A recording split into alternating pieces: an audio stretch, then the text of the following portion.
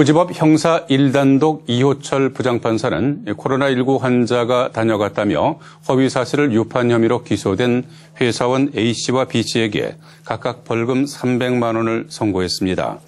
A씨는 지난 2월 회사에서 SNS 메신저로 동료 B씨에게 신천지 교인이 다녀가 큰 병원과 목욕탕이 문을 닫았다며 허위 사실을 전달했고 B씨는 이를 가족 9명이 있는 SNS 단체 대화방에 게시한 혐의로 기소됐습니다.